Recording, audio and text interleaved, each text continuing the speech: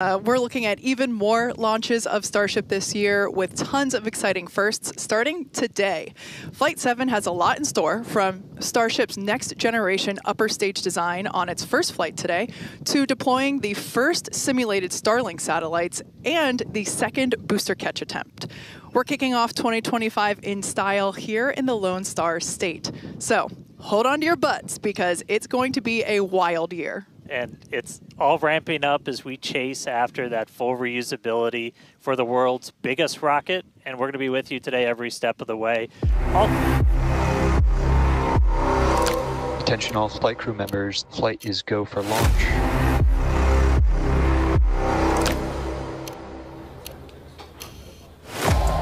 It's been just over a month since Flight 5. Goal is to get that turnaround time down to hours. We can't.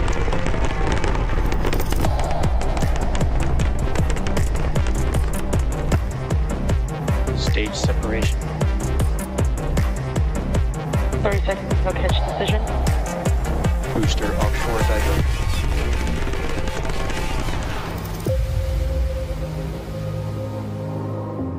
Tune in and watch the ship fly around planet Earth.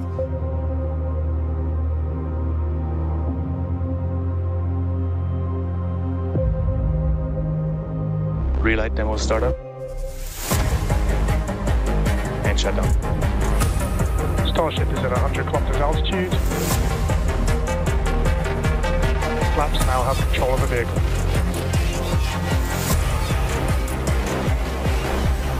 Starship has started the subsonic belly flop.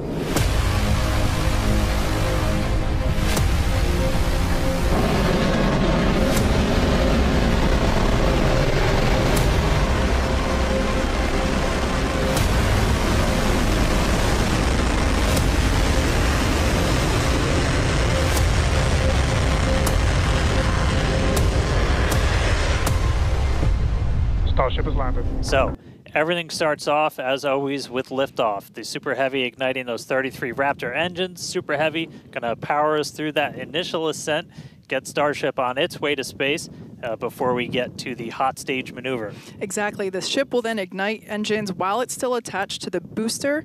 That will allow us to separate the two stages.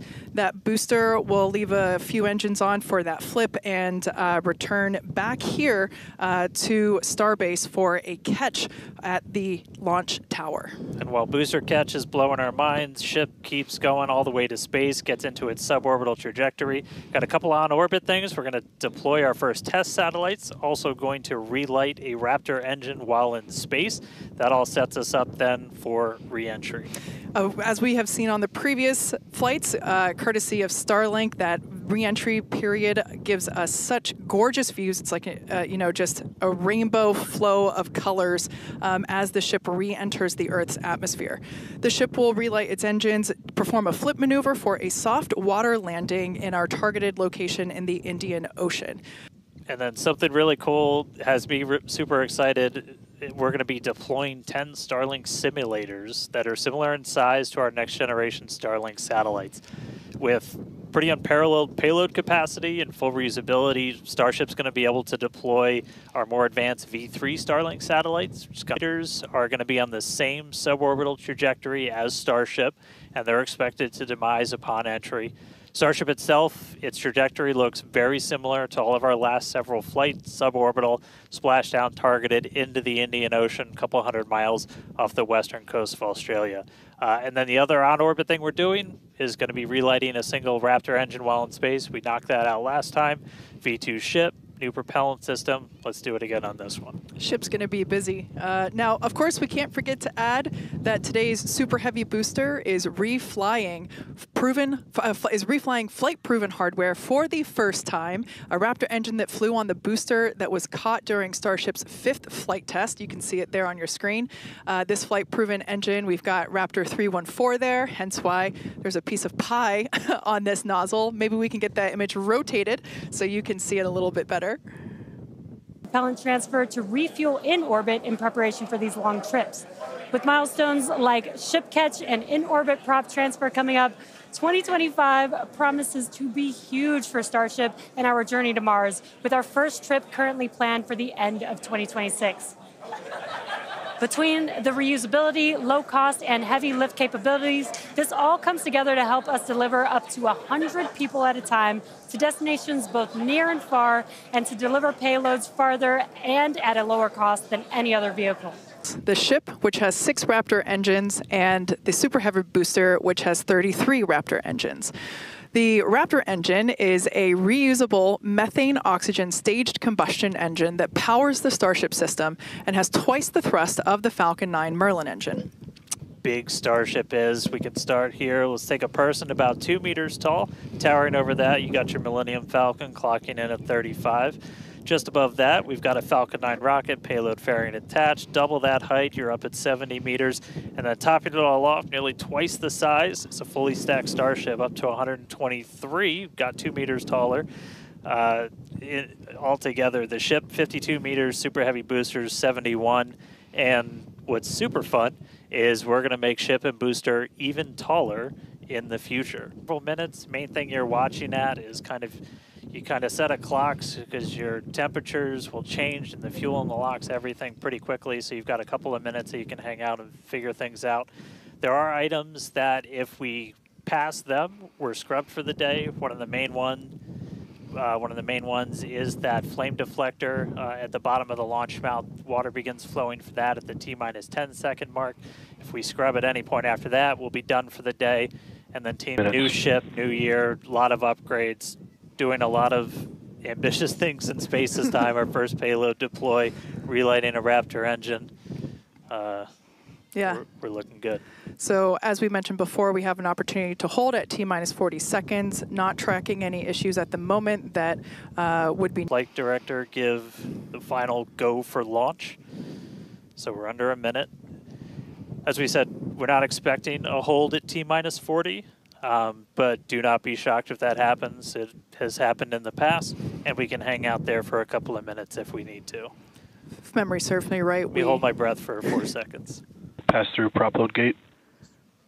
All right, we pass right through that prop load gate. hot diggity dog. All right, so we're going to let our flight director, Ty Huntington, take Flight it directors, away. go for launch.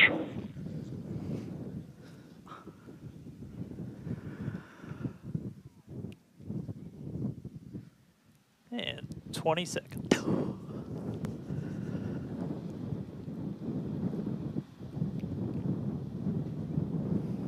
T minus 10, 9, 8, 7, 6, 5, 4, 3, 2, 1.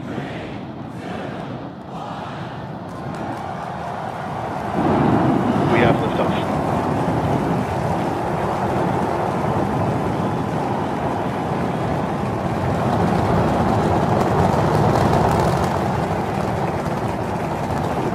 Vehicle's pitching downrange.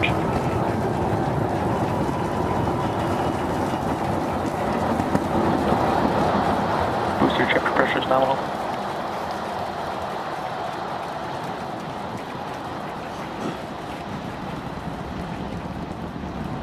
All right, we're more than 30 seconds into flight. Telemetry showing 33 out of 33 engines as it's pitching down Booster chip, avionics power, and telemetry nominal. Hearing good call outs on the ship and booster avionics. You just heard the rumble hitting us about six miles away. Watching Starship arc into just endless blue skies right now. Vehicle supersonic. More than a minute into flight, the vehicle's supersonic.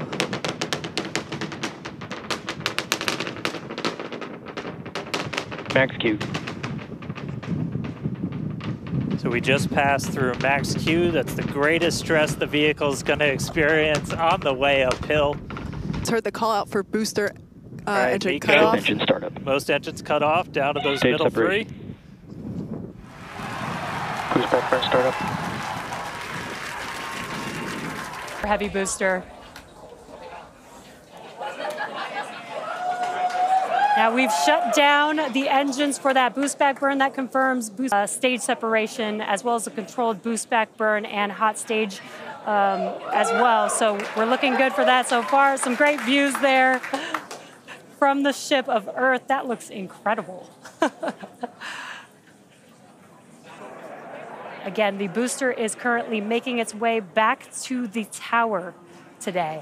So we're looking forward to a booster catch with the chopsticks and in the meantime, you can see those grid fins there helping to control the vehicle and guide it back to its landing site. Booster FTS is safed. Now, with that, we're going to hand it back. How's it going over there, Dan and Kate? How are you doing, Kate? Seeing that in person? Um, you know, uh, Dan had to take that entire segment because I couldn't talk. That was There- incredible. there it is. We can see the booster coming back in now through the plume. At least it looks that way to us. Um, it's incredible that it basically returns. It looks like a speeding, um, just like this rupture chamber pressure is silver nominal. flare uh, coming back to the, the. Once again, we are standing by for uh, uh, uh, attempting to catch the booster at the tower. This would be the second tower catch. Booster landing, Landing burn burn. Start. Seeing 13 engines. Booster now hovering as it aligns with the tower for catch. Booster coming in. Get Down ready to- for that boom, Kate. Down to three engines. Booster landing burn shutdown. Mechazilla has caught the booster.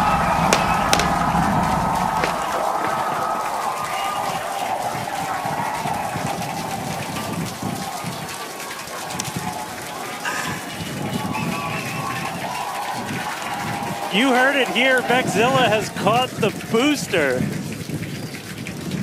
Once again, for the second time, a successful catch by the launch tower. This is the same tower, the launch pad, where that booster took off from just seven and a half minutes ago.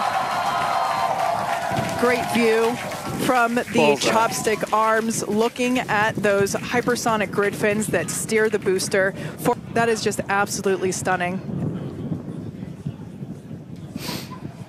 And this, of course, uh, a gorgeous view there from the tower looking down at the top of the booster.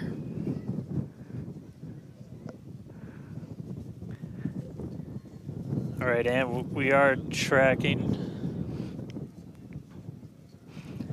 Now we're standing by for um, views from the ship, but who can take their eyes off of that incredible sight? That is once again the second catch of a booster back at the launch tower. Uh, it was incredible to see it come back down. Uh, just Um, so, I mean, that is essentially telling us that we had an anomaly with, with that upper stage. Um, so we were just coming up to the end of that ascent burn for the ship uh, when we stopped until, or when we um, started to lose uh, a couple of the engines. We saw those dropping out, and then we did lose uh, telemetry from the ship. So that means we didn't have contact with it. So at this point, we are assuming that the ship has been lost. Um,